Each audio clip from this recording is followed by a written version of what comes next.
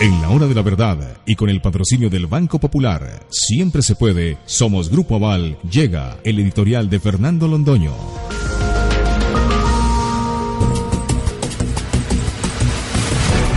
Cuando menos se piensa y donde menos se piensa, salta la liebre. Viejo decir castellano que repetimos en toda Colombia. Pues muy bien, saltó la liebre.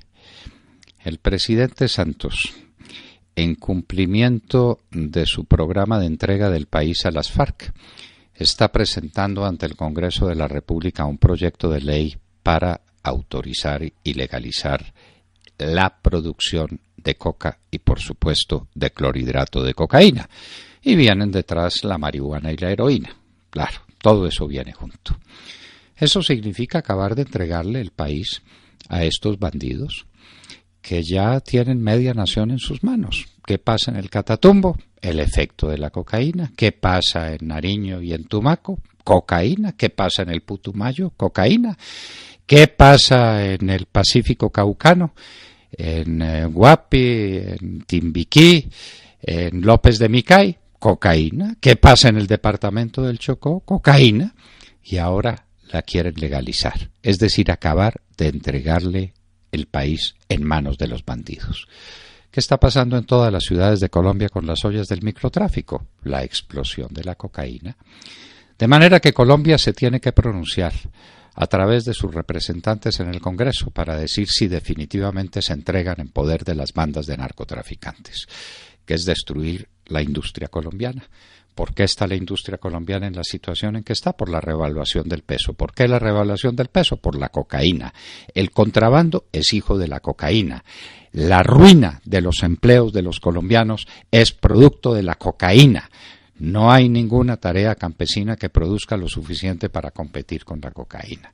Colombia tiene que decir ya, definitivamente, si sigue por la ruta de ser un país narco adicto en todos los sentidos, o si Colombia vuelve por sus fueros por los que le señaló el presidente Uribe en ocho años de gobierno que prácticamente redujeron el tema a sus eh, ínfimas expresiones.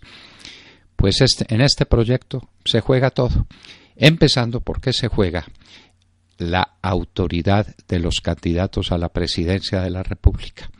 Aquí vamos a ver, queridos oyentes, dónde está el centro democrático, dónde está el Partido Conservador que acompaña a Marta Lucía Ramírez para la vicepresidencia de la República, dónde están los grupos cristianos que se encuentran en el Senado y en la Cámara. No tenemos duda ninguna en contra de ese proyecto maldito, mil veces maldito.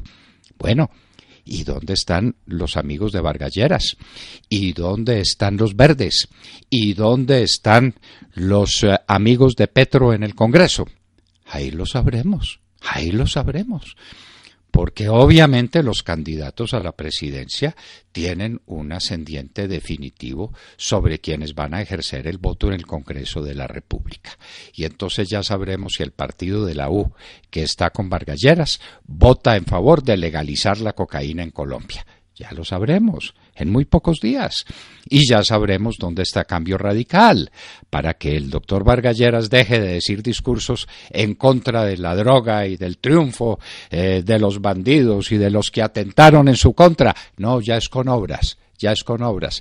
Opóngase a ese proyecto para que tenga alguna credibilidad, doctor Vargalleras. ¿Y dónde están los del Partido Verde?